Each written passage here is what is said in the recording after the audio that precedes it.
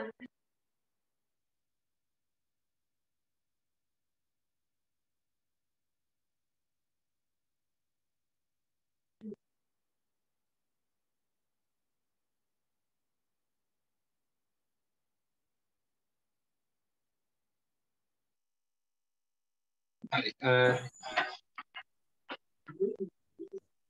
පුතේ අපි අලුච්ඡේදකින් ලියමු අලුච්ඡේදකින් ලියමු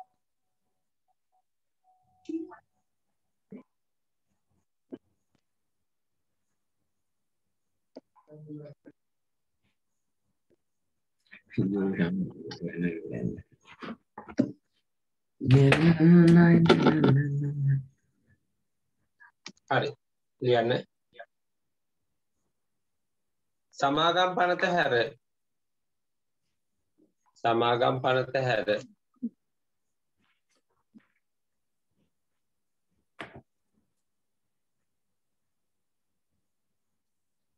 වෙනත් පනතක් මගින්.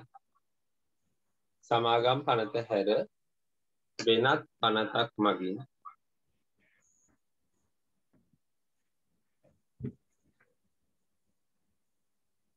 වෙනත් පනතක් මගින්. ස්ථාපිත කර ස්ථාපිත කර. පවත්වාගෙන යන ව්‍යාපාර සංවිධාන. පවත්වාගෙන යන ව්‍යාපාර සංවිධාන.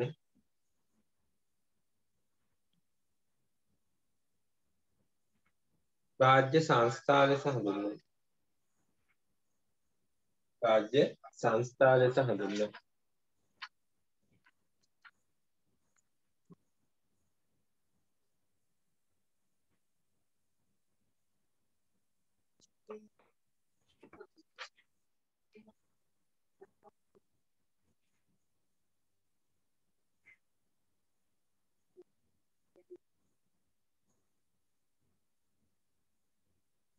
හරි පුතේ අපි ලියමු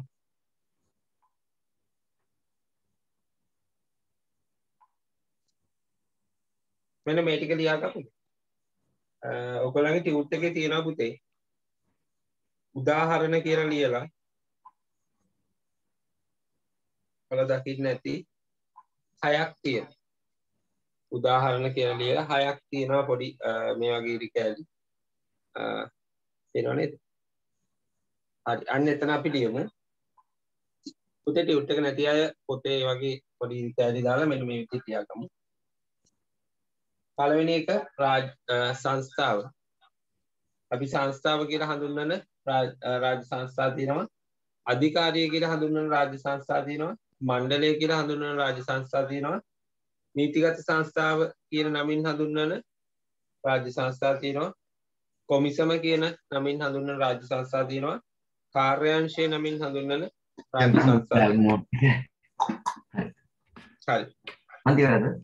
පළවෙනි එක ලියන්න. ඉතින් මේ උත්තර ගන්න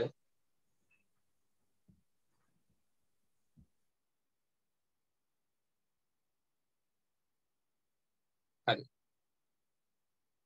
සංස්ථාව.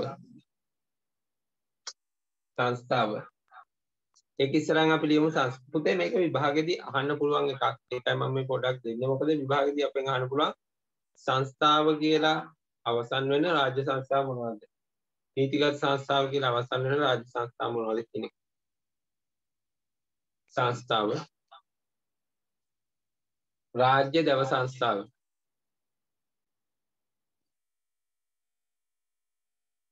රාජ්‍ය දැව සංස්ථාව.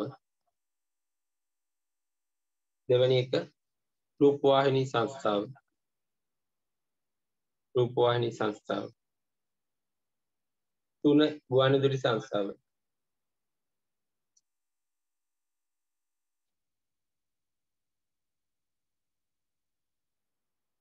රාජ්‍ය දව සංස්ථාව රූපවාහිනී සංස්ථාව ගුවන්විදුලි සංස්ථාව. දෙවැනි එක අධිකාරිය.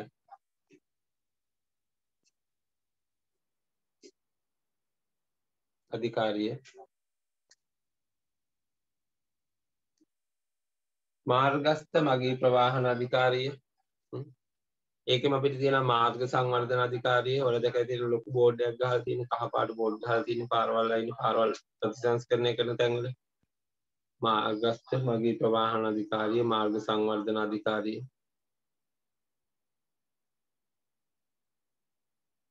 ඊට පස්සේ වරාය අධිකාරිය. වරාය අධිකාරිය ඊළඟට සිවිල් ගුවන් සේවා අධිකාරිය සිවිල් ගුවන් සේවා අධිකාරිය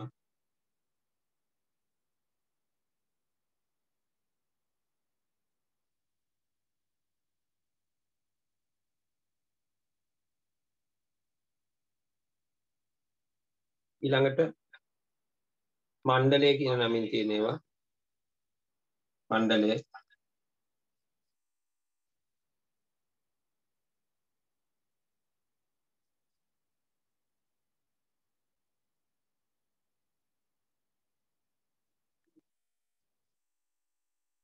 විදුලි බල මණ්ඩලය මණ්ඩලය යටතේ විදුලි බල මණ්ඩලය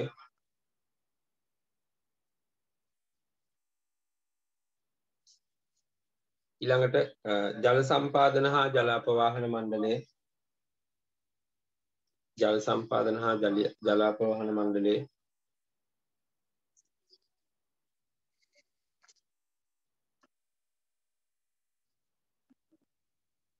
ඊළඟට කෘෂි රක්ෂණ මණ්ඩලය.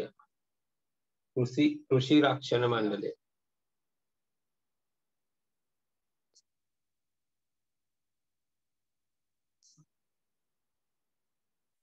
ඊළඟට නීතිගත සංස්ථාව. නීතිගත සංස්ථාව.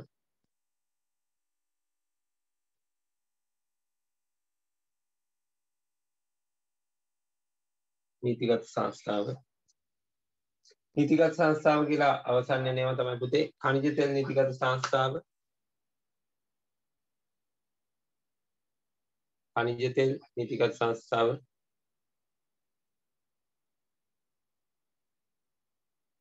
රාජ්‍ය ඖෂධ නීතිගත සංස්ථාව.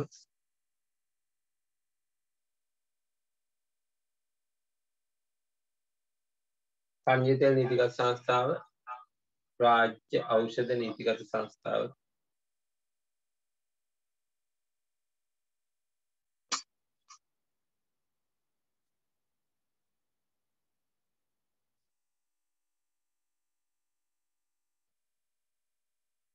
ඊට පස්සේ කොමිසම. කොමිසම.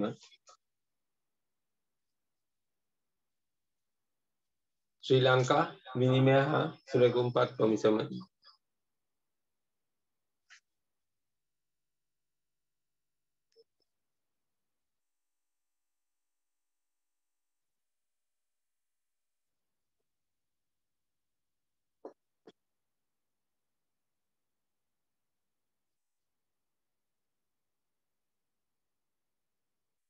ඊළඟට පුතේ කාර්යාංශය කාර්යාංශය මොකද්ද සර් විනිමය හා?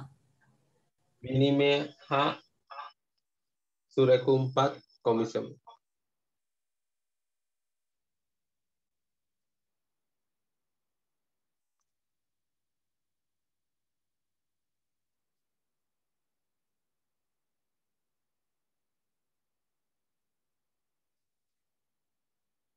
හරි. අන්තිම එක පුතේ කාර්යාංශය. ළමා හා කාන්තා කටයුතු කාර්යාංශය.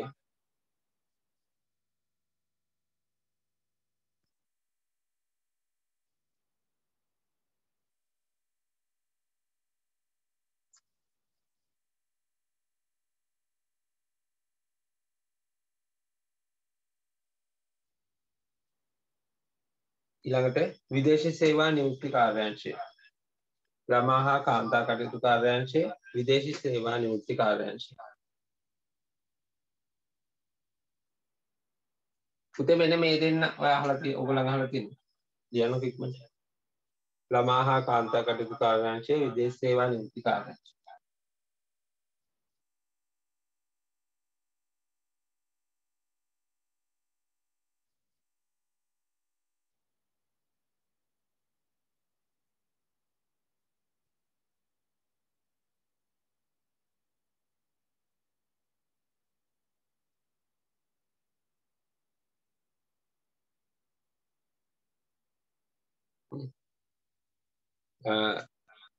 මාර්ග සංවර්ධන අධිකාරිය සහ ජල සම්පත් හා ජලාපවාහන මණ්ඩලය අහලා තියෙනවද? අහලා තියෙනවද? අහලා නැද්ද? අහලා තියෙනවා. මේ දෙන හොඳ යාළුවෝ නේද?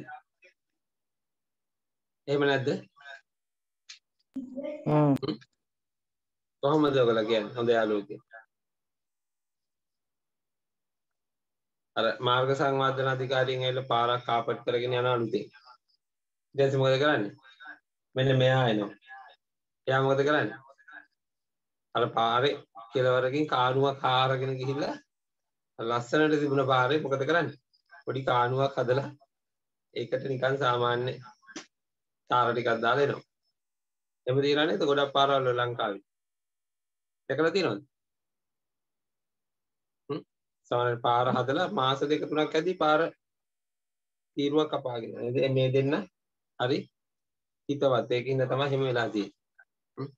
අර මේ රජයේ සංස්ථා දෙකක් හැබැයි නමයකට මාර්ග සංවර්ධන අධිකාරිය ජන සම්පත් හා ජලපවාහන මණ්ඩලය මේ දෙන්නම සංස්ථා අ, හැබැයි ඒ වගේ අර පොඩ්ඩක් සම්බන්ධීකරණ ගැටලු තියෙන නිසා මොකද වෙන්නේ පාරට කාපට් දැම්මට පස්සේ තමයි මෙයාට මතක් වෙන්නේ වතුර ජල නල ටික පාර දිගේ දාගෙන යන්නේ. ඉතින් අන්න ඒ වගේ වෙලාවට තමයි ඒ වගේ ගැටලු ඇති වෙන්නේ.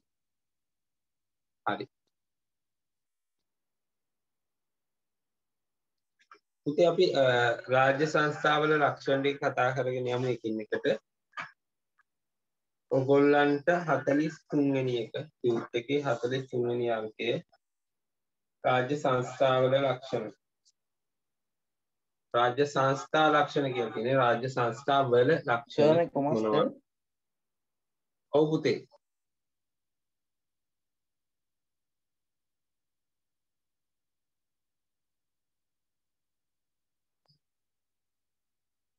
හරි.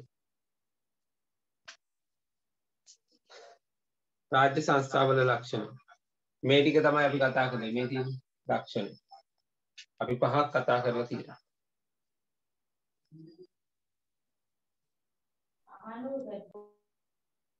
හරි. පළවෙනි එක ලියන්න පුතේ අයිතිය සහ පාලනය. මේකනම් ලියමු. අයිතිය සහ පාලනය.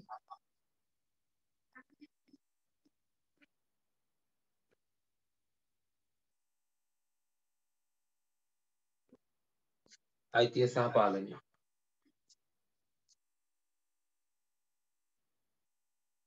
හරි. පුතාලට හම්බුනේ නැද්ද මේ පාර ඕ ලෙවල් ලියන අයියලක් කළා කවුද? කොහමද ඒගොල්ලන්ගේ ප්‍රතිචාරය? තාම කොමර්ස් පේපර් එක නම් තිබුණේ නැහැ. මම හිතන්නේ සිංහල තිබුණා, ආගම තිබුණා. මොනවද තිබුණේ? අද තිබුණේ ඉතිහාසය? කොමස් අද ලේසි මොනවද තිබුණේ? අහුන්නේ නැහැ. හරි. විෂයන් තුනක් තිබුණා. ම්ම් මං හිතන්නේ ගොඩක් ලේසි කියලා තමයි මේ වෙනකොට කියන්නේ. අ කියන්නේ සාමාන්‍යයෙන් සාපේක්ෂව ඒ දැන් අපි ඉවර වෙච්ච පේපර් තුන ගත්තොත් එimhe සඳුදා අඟහරුවාදා බදාදා ආ, බ්‍රහස්පතින්දාත් එක්ක හතරක් ඉවරයි. ඒ හතරට අදාළ ඉතිහාසය තිබුණානේ. ඉතිහාසය ආගම මම හිතන්නේ සිංහලනේ තනිත් එක. සිංහල අද මොනවද පුතේ තිබෙන්නේ ඉංග්‍රීසිද? දන්නේ ඔව් සර් ඉංග්‍රීසි නේ? ආ, තියෙන தත්ත්වෙත් එක්ක නම් ලේසි කියලා තමයි ගොඩක් අය කියන්නේ. මේක එච්චර හොඳ එකක් නෙවෙයි අපිට. ඒගොල්ලන්ට නම් හොඳයි. නේද? ඒගොල්ලන්ට හොඳයි අපිට පොඩි ගැටලුවක් වෙන්න පුළුවන්. හ්ම්. අ, එකක් තමයි ඒගොල්ලන්ගේ පැත්තෙන් බැලුවහම පුතේ ඒගොල්ලන්ට අවුරුදු දෙකෙන් එක අවුරුද්දක් වගේ තමයි සාමාන්‍යයෙන් එයාලගේ අධ්‍යාපන කටයුතු වලට බලපෑමක් උනේ. ආ ඉතින් එයාලගේ පේපර් එක ලේසි වෙලා තියෙනවා. ඒකට අපේ පැත්තෙන් බැලුවොත් අපිට ඒක අනිත් පැත්ත. අපිට අවුරුදු දෙකම මේකත් එක්ක තමයි යන්න වෙලා තියෙන්නේ. මොකද ගිය අවුරුද්දේ මාර්තු වල පටන් ගත්ත එක තවමත් හරියටම විසඳුමක් පේන තෙක් මානකවත් නැති තත්ත්වයක් අපිට තියෙනවා. ඉතින් මොනවා වුණත් දැන් දැනට අපි පැය දෙක හමාරයි පන්තිය කරන්නේ. ඉස්සරහට මේක පැය තුනක් වෙනවා. ඊට පස්සේ අපි දවස් දෙකක් පන්තිය කරනවා. ওই විදිහට මම ඔයගොල්ලන්ට වගකීමෙන් සිලබස් එක අවසන් කරනවා. මොකද ඒක කලින් කරපු අයියලා කළා. ඔයාලා දන්නවා නම් අහන්න පුළුවන්.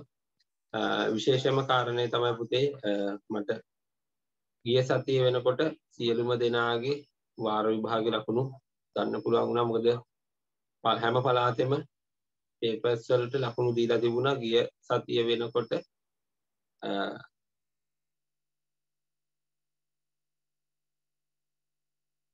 මොකද්ද ගිය සතිය වෙනකොට මට මෙසේජ් එකක් දැම්ම පුතේ කවුරු හරි දාපු එකනගේ මෙසේජ් එක තේරුන්නේ නැහැ. පුළුවන් නම් මයික් එක ඔන් කරලා අහන්න. ඒකේ ප්‍රතිඵල දැක්කහම ගොඩක් සතුටුයි. මොකද වැඩිම ලකුණු ගත්ත කෙනාගේ ලකුණු ගත්තොත් ලකුණු කොමස් පේපර් එකට ගිය අවුරුද්දේ බස්නාහිර පළාතේ සොරි මේ මේ අවුරුද්දේ අවසාන වාර විභාගේ බස්නාහිර පළාතෙන් හදපු පේපර් එකට ලකුණු 100න් 100 ගත්ත එක දරුවෙක් හිටියා. මගේ පන්ති. එතකොට එයාගේ සාමාන්‍ය 100න් 100 දෙන්නේ නැහැ. ශිෂ්‍යත්වය වගේ තමයි දෙන්නේ. ඕ ලෙවල් වලදී 100න් 100 දෙන්නේ නැහැ. කොහොම හරි අඩුතරමේ ලකුණු භාගයක් හරි කපන්න try කරනවා. මොකද ලකුණු 99.5 හරි දෙන්න. ඉතින් කෙටි ප්‍රශ්න පත්‍රයේ ප්‍රශ්න 40ම හරියයි. මම පේපර් එක බැලුවා. ඒ බලලා ඔප් එකේ ෆොටෝස් ඒවල තිබුණා ඒ දරුවා. ලියන ප්‍රශ්න පත්‍රයේ ඇත්තටම එයාම කියනවා මම උත්තර ලියන්න කියලා දුන්න විදිහට උත්තර ලිව්වහම එයාම කියනවා ඒකට විභාගයේදී නැත්නම් පේපර් එක බලන කෙනාට ලකුණු කපන්න විදිහක් නැහැ. ගිලුම් කරන්නේ කොටසදී අපි ගිලුම් කරන්නේ කොහොමත් අපි හරියට හදුවම ලකුණු කපන්න බෑ. හැබැයි ලකුණු කපන්න පුළුවන් එකම තැන තමයි අපි රචනා ප්‍රශ්න ලියන්නේ. කොච්චර හොඳට ලියලා තිබුණත් සමාජ ලකුණු හතරක් දෙන්න තියෙන එකෙන් එයාට තුනක් තුනමාරක් දීලා නතර කරන්න පුළුවන්. එහෙම වෙන්නේ නැති වෙන්නේ එයා උත්තර ලියලා තිබුණා. ඉතින් ඒක සත් ඇතරම සතුටක් මොකද මේ ලකුණු 100න් 100 ඕ ලෙවල් විභාගයට කලින් අවසාන වාර විභාගෙදී දරුවෙක් ගත්ත පළවෙනි අවස්ථාව. ඒකත් බස්නාහිර පළාතේ දරුවෙක් වීම තවත් විශේෂත්වයක්. සියෙන් සිය සාමාන්‍ය ගන්න. අමා අමාරුයි කියන්නේ කලාතුරකින් වෙන දෙයක් එකක්. ඒ වගේම තමයි මේ වාර විභාගේ ගත ලකුණු වලින් අඩුම ලකුණු ප්‍රමාණය ගත්ත දරුවගේ ලකුණ 76 තිබුණේ. වැඩිපුර මම ගත්තොත් බහුතරයක් දරුවන්ගේ ලකුණු තිබුණේ 78ත් 87ත් අතර වගේ ප්‍රමාණයක තමයි ගොඩක් දරුවන්ගේ ලකුණු තිබුණේ. ඉතින් ගොඩක් විශ්වාසයක් තියෙනවා මේ පාර ලියපු දරුවන්ගෙන් 100ට 90කට වඩා ඒ සාමාර්ථ ගනී කියලා.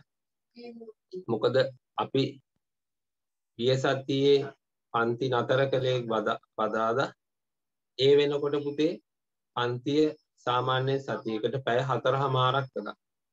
සිකුරාද පැය දෙක හමාරක් සහ බදාද පැය දෙකක් විදිහට සියලුම දරුවන්ගේ සියලුම පාඩම් ටික අවසන් කළා. සහ මොඩල් පේපර්ස් කතා කළා හැම පාඩමකටම අදාළ මොඩල් පේපර්ස් 20ක් පාස් පේපර්ස් 12ක් කතා කළා පන්ති ඇතුළතදී මේ කොරෝනා මේ මොනවා තිබුණත් ඒ වගේම සිලබස් එක ඉවර කළා. ඒකත් එක්ක ඒගොල්ලන්ට ලොකු අයියක් තිබුණා විභාගයේදී යන්නේ. ඉතින් ඕගොල්ලන්ටත් ඒ විදිහටම අපිට කරන්න පුළුවන් අවසාන කාලේ. ඉතින් මේ කාලේ අපි තව ටිකක් වේගෙන් කරගෙන යමු. මේ මම කතා කරන්නේ තියරි කොටස් ටික චුට්ටක් ස්ලෝ යන්නේ. මොකද මේ ටික අපිට ගොඩක් ගන්න ඕන නිසා. හැබැයි ගිණුම් කරන්නට ගියාම මීට වඩා වැඩි වෙලාවක් පන්තිය කරනවා සහ ටිකක් වේගෙන් කරගෙන යනවා. එහෙමයි කියලා ඔයගොල්ලන්ට නොතේරෙන විදිහට නෙමෙයි හැමෝටම අවබෝධ වෙන විදිහට. ඔහොම තමයි පන්ති කණ්ඩ සැලසුම් කරලා තියෙන්නේ මම දැනටම සැලසුම් හදලා තියෙනවා මම ඔයගොල්ලන්ටත් ඒක ෂෙයා කරන්න. කොහොමද අපි මේ අවුරුද්දේ දැන් මේ අපි මාර්තු පටන් ගත්තා. ඒතර අපේ තුන්වෙනි පාඩම ඉවර වෙන්න යන්නේ. ඒතකොට තව අපේ පාඩම් 17ක් ඉස්සරහට තියෙනවා. කොහොමද නොවැම්බර් වෙදි මේ පාඩම් 17 ඉවර කරන්න කියන එක ඔයගොල්ලන්ට මම සැලැස්ම දෙන්න. හරි. ඒක තමයි පුතේ කියන්න තියෙන්නේ. එහෙනම් අපි රාජ්‍ය සංස්ථාවල ලක්ෂණ වලට යමු. පුතේ පළවෙනි ලක්ෂණය අයිතිය සහ පාලනය.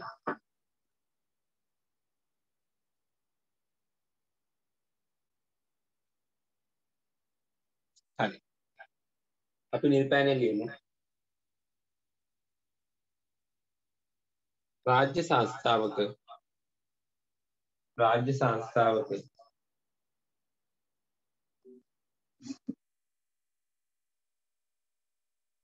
අයිතිය අයිතිය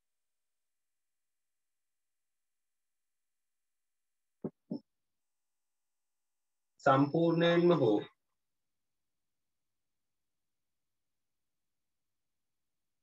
සම්පූර්ණයෙන්ම හෝ වැඩි ප්‍රමාණය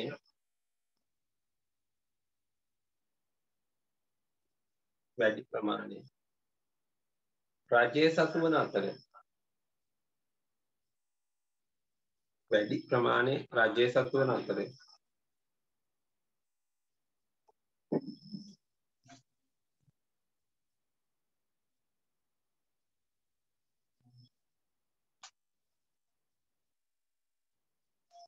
අතර. අතර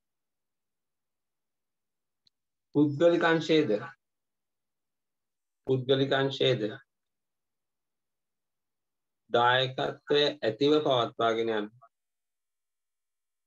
පුද්ගලිකංශයේද දායකත්වය ඇතිව පවත්වාගෙන යන ඇතැම් රාජ්‍ය සංස්ථා දැකිය හැකියි.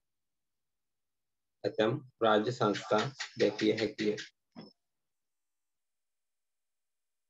හරි පුතේ ඒකටම අපි ලියාගෙන යමු.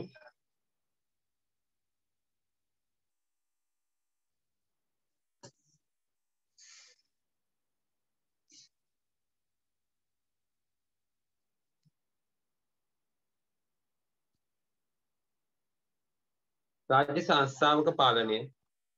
රාජ්‍ය සංස්ථාවක පාලනය.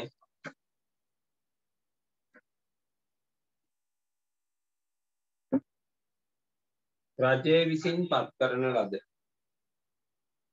රජය විසින් පත් කරන ලද.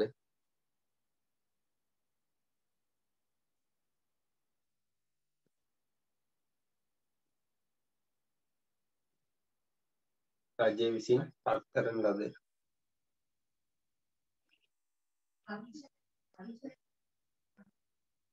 අධ්‍යක්ෂක මණ්ඩලයක් විසින් අධ්‍යක්ෂක මණ්ඩලයක් විසින් සිදු කරනු ලබයි.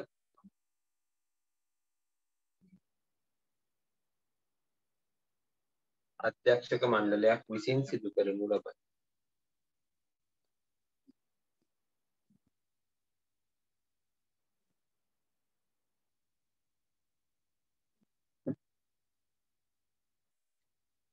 හරි. පුතේ අපි දෙවැනි එකට එමු. පුතේ ඒක අපි මෙන්න මේ දෙක එකට එකතු කරලා ලියමු.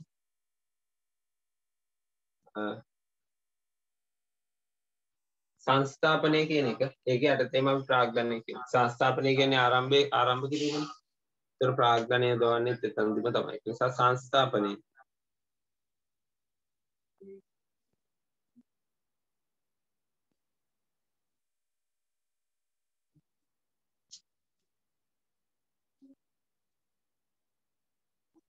විශේෂ පාර්ලිමේන්තු පනතක් හෝ විශේෂ පාර්ලිමේන්තු පනතක් හෝ විස්තර දීරේලියම් විස්තර ඇතිකිරීම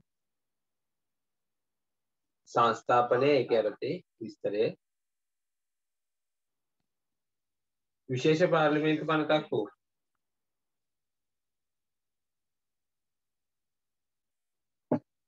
පොදු පාර්ලිමේන්තු පනතක් මගින් විශේෂ පාර්ලිමේන්තු පනතක් හෝ පොදු පාර්ලිමේන්තු පනතක් මගින්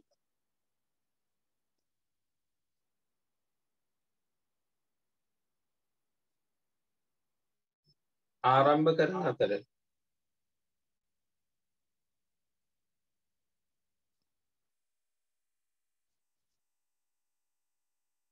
පොදු පාර්ලිමේන්තු පනතක් හෝ විශේෂ පාර්ලිමේන්තු පනතක් මගින් ආරම්භ කරන අතර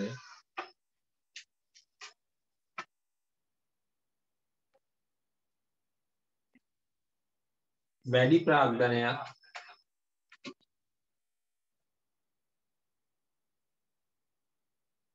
වැඩි ප්‍රාග්ධනයක්.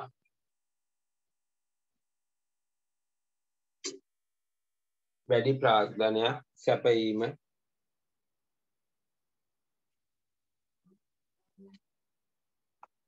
රජය විසින් සිදු කරනු ලබයි.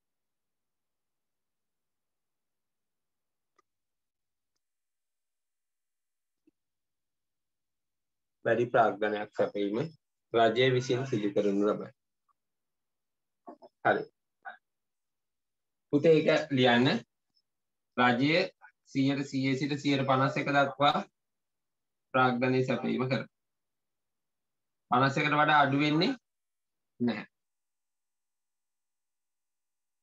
පුද්ගලිකාංශය ගත්තොත් එහෙම 51කට සෝරි 49ට වඩා අඩුයි.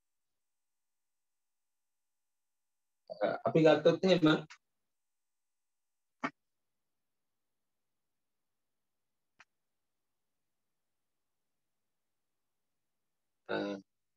ශ්‍රී ලංකා පොහොර සංස්ථාව කියන එක මුලින්ම රජ්‍යංශයට තිබිලා ඊට පස්සේ එකෙන් කොටසක් පුද්ගලිකාංශයට ලබා දුන්නා. ඊට නැවතත් ඒ කියන්නේ 149ට වඩා අඩු කොටසක් පුද්ගලිකාංශයට දීලා ආයි නැවතත් ඒක රජයට ගත්තා. ඒතර දැන් පූර්ණ රාජ්‍ය සංස්ථාවක් බවට ඒක පත් වෙලා තියෙනවා. ඒතර සමහරක් සංස්ථාවන් කාලයක් යනකොට සමාගම් බවට පත් වෙච්ච අවස්ථාත් අපිට දකින්න පුළුවන් රාජ්‍ය සමාගම් විදිහට. ඒතර ඔයගේ එක එක විදිහේ වෙනස්කම් තියෙනවා. ඒතර මේ රාජ්‍ය සංස්ථා කියන එක පොදුවේ ගත්තොත් එහෙම ලාභ අරමුණකින් තොරව තමයි පවත්වාගෙන යන්නේ. ඒතර ගොඩක් වෙලාවට අරමුණ වෙන්නේ සුබ සාධනේ නැත්නම් පොදු පහසුකම් සැපයීම කියන එක තමයි රාජ්‍ය සංස්ථාවල අරමුණ වෙන්නේ. හරි.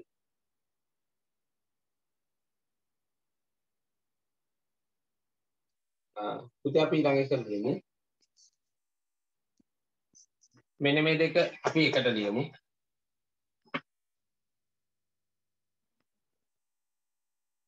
අකණ්ඩ පැවැත්ම සහ නෛතික පුද්ගල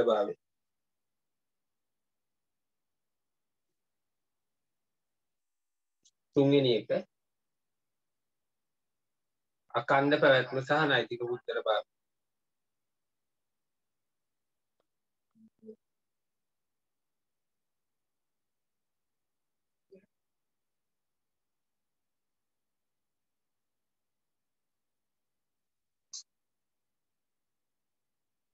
හරි. අපි ලියමු ඒකට පුතේ විස්තරයක් විදිහට අකණ්ඩ පැවැත්ම සහ නෛතික පුද්ගල භාවය.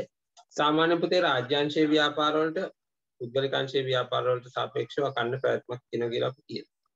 ඒක සාමාන්‍යයෙන් පොදුවේ අපිට දකින්න පුළුවන් සහ වෙන දෙයක් මොකද රජයේ ව්‍යාපාරයක් වහලා දාන්න නැත්නම් නවත්තන්න වෙන අවස්ථාවට වඩා පුද්ගලික ව්‍යාපාරයක අවදානම වැඩි.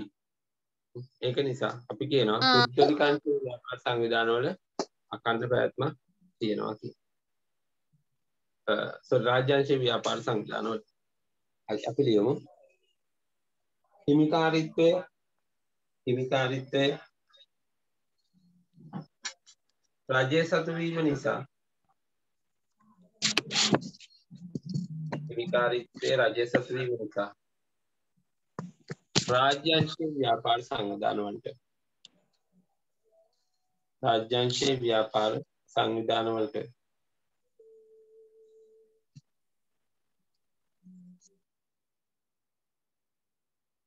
අකණ්ඩ පැවැත්මක් ඇත. අකණ්ඩ පැවැත්මක් ඇත. එසේම එසේම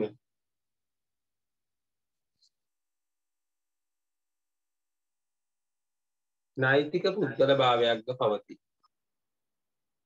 එසේම නෛතික පුද්ගල භාවයක්ද පවති. දැන් පුතේ අපි නෛතික පුද්ගල භාවය කියන්නේ මොකක්ද කියන එක නැවත කතා කරන්න යන්නේ නැහැ. මොකද අපි නෛතික පුද්ගල භාවය කියන එක ගැන ගොඩක් අවස්ථාවලදී විවිධ ආකාරයෙන් කතා කරලා තියෙනවා. මතකයි නේද? මුලින්ම නෛතික පුද්ගල භාවය කියන එක කතා කළා. ඒක පුද්ගල ව්‍යාපාරවලදී විස්තරව කතා කළා අවුල් ව්‍යාපාරවලදී කතා කළා සමාගම්වලදී කතා කළා. ඒතර ඔය කියන එකම තමයි නායකික පුද්ගල භාවය කියන සංකල්පය එකම තමයි කොහෙට ගියත්. ඒ කියන්නේ ව්‍යාපාරයේ අයිතිකරුවන්ගෙන් වෙන් වෙලා ස්වාධීන පුද්ගලයෙක් ලෙස නීති ඉදිරියේ කටයුතු කිරීමට ඇති හැකියාවට අපි කියනවා නීති පුද්ගල භාවය කියලා. හරි. එතකොට පුතේ ඒකත් එක්ක අපි ගත්තොත් අපි කියනවා රාජ්‍ය සංස්ථාවකට නෛතික පුද්ගල භාවයක් තියෙනවා කියලා සහ අකණ්ඩ පැවැත්මක් තියෙනවා කියලා. අපි අන්තිම එක ලියමු. මේකේ ABCD කියලා තියෙනවා. D එක අරමුණ. අරමුණ නම් අපි කොහොමද දන්නවා? අරමුණ.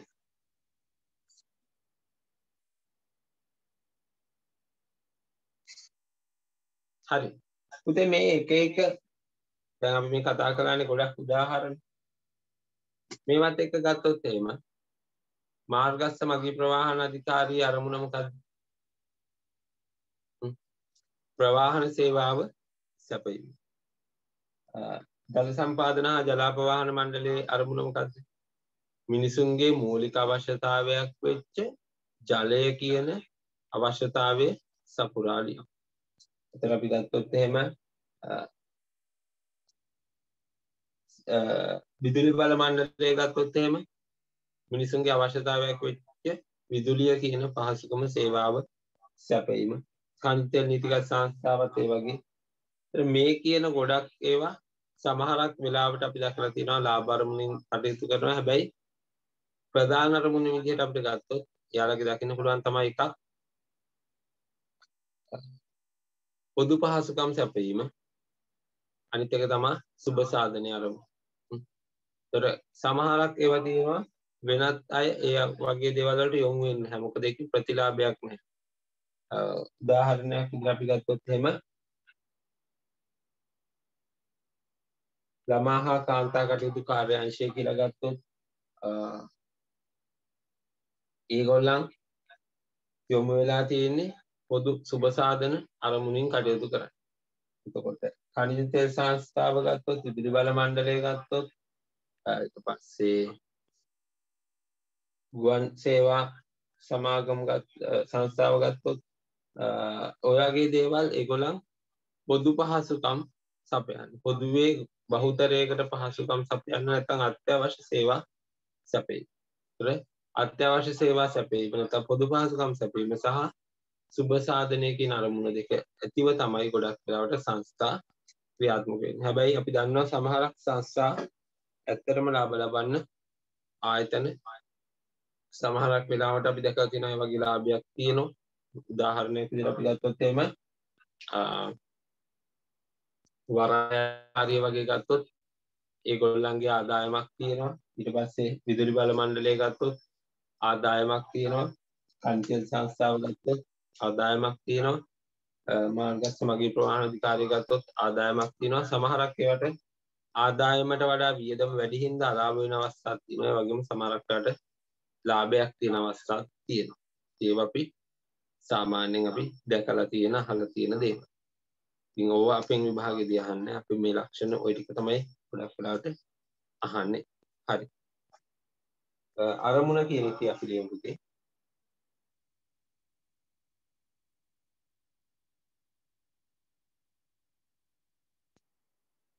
අත්‍යවශ්‍ය පහසුකම් සැපීම හා අත්‍යවශ්‍ය පහසුකම් සැපීම හා සුබසාධන අරමුණ ඇතිව.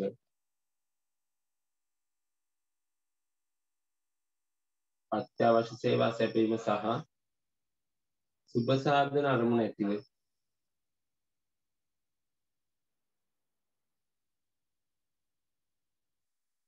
සුබ සාධන අරමුණ ඇතිව. රාජ්‍ය සංස්ථා රාජ්‍ය සංස්ථා ආරම්භ කිරීම සහ පවත්වාගෙන යාම ආරම්භ කිරීම සහ පවත්වාගෙන යාම සිදු කරනු ලබයි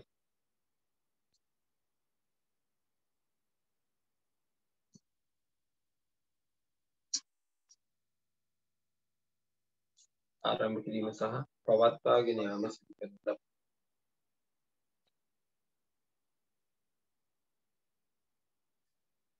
හරි. ඔය ටික තමයි පුතේ අපේ ලක්ෂණයට අපිට කතා කරන්න තියෙන්නේ රාජ්‍ය සංස්ථාවල ලක්ෂණ.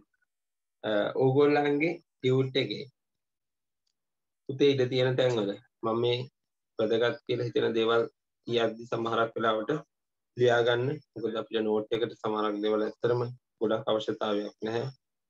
ඒවා අපේ සාමාන්‍ය දැනීමට වැදගත් වෙන දේවල් ටිකකුත් තියෙනවා. ඉතින් ඒවා ටිකක් පොඩ්ඩක් අපි ඔය එකම බලමු. හරි අපිට ඊළඟට කතා කරන්න තියෙන්නේ රාජ්‍ය සංස්ථාවල වාසි සහ අවාසි මොනවද කියලා. හරි ඊට කලින් මම නැවතත් රාජ්‍ය සංස්ථා කියන්නේ මොකක්ද කියන එක පොඩි හැඳින්වීමක් කරන්න. ඔයගලන්ට වැදගත් කරුණු තියෙනවා නම් ටියුට් එකේ උඩ යට තියෙන ඉඩ තියෙන තැන්වල නෝට් කරගන්න. පුතේ පටන් ගන්න තැන ඉඳන් කියන්න. රාජ්‍ය සංස්ථාවක් කියලා කියන්නේ රජයට අයිති ව්‍යාපාර සංවිධානයක් හිමිකාරිත්වය තියෙන්නේ රජයට ඒ වගේම තමයි අරමුණ ලාභ අරමුණු කර නොගත් සංවිධාන යටතේ තමයි අපි රාජ්‍ය සංස්ථා කතා කරන්නේ. රන්න එතන තමයි පදනම අපි මුලින්ම කතා කළේ ව්‍යාපාර සංවිධාන වර්ග කිරීම යටතේ ලාභ අරමුණු කර නොගත් රාජ්‍යංශය සතු ව්‍යාපාර සංවිධානයක් තමයි රාජ්‍ය සංස්ථා කියලා කියන්නේ. රාජ්‍ය සංස්ථාවක් ආරම්භ කරන්න පුළුවන් ක්‍රම දෙකක් තියෙනවා. එකක් තමයි පොදු පාර්ලිමේන්තු පනතක් මගින්. ඒ කියන්නේ පොදුවේ තියෙන පාර්ලිමේන්තු පනතක් මගින් රාජ්‍ය සංස්ථාවක් අපිට ආරම්භ කරන්න පුළුවන්. ඒ වගේම පාර්ලිමේන්තුවේ සම්මත කරගත් විශේෂ පාර්ලිමේන්තු පනතක් මගිනුත් අපිට රාජ්‍ය සංස්ථාවක් ආරම්භ කරන්න පුළුවන්. විභාග ධ්‍යාන පුරා රාජ්‍ය සංස්ථා ආරම්භ කර හැකි ආකාර දෙක එකක් පොදු පාර්ලිමේන්තු පනතක් මගින් අනික විශේෂ පාර්ලිමේන්තු පනතක් ඔය කියන කරුණු අපි ලියාගෙන තියෙන නෝට් එකේ පොඩ්ඩක් ඕනනම් ප්‍රතිපෑනෙන් ඉරක් ඇඳගන්න ඇති පොදු පාර්ලිමේන්තු පනතක් සහ විශේෂ පාර්ලිමේන්තු පනතක් දෙක ඒ වගේම තමයි රාජ්‍ය සංස්ථාවකට අවශ්‍ය ප්‍රාග්ධනය ලබා දෙන්නේ අවශ්‍ය අරමුදල් ටික ලබා දෙන්නේ රජය හැබැයි ඇතැම් අවස්ථාවලදී පුද්ගලිකංශයේ දායකත්වයකුත් ගන්න එම ගන්නවා කියලා සම්පූර්ණයෙන් පුද්ගලික අංශයට මුදල් දෙන්න දෙන්නේ නැහැ. මොකද කරන්නේ? රජය විසින් 151ක් හෝ ඊට වැඩි ප්‍රමාණයක අර මුදල් සැපයීම සිදු කරනවා. 51 සිට 100 දක්වා. ඒ කියන්නේ පූර්ණ රාජ්‍ය සංස්ථා තියෙනවා. අර්ධ රාජ්‍ය සංස්ථා තියෙනවා. පූර්ණ රාජ්‍ය සංස්ථා ගත්තොත් එහෙම ඒකෙදි රජය විසින් වැඩි බහුතර ආයෝජනයක් කරනවා සුළු ආයෝජනයක් තමයි පුද්ගලිකංශය කරන්නේ. ඒ වගේම තමයි රජය විසින් පත් කරන ලද අධ්‍යක්ෂක මණ්ඩලයක් විසින් රාජ්‍ය සංස්ථාවක් පාලනය කරනවා. ඊළඟට අපි කතා කළොත් එහෙම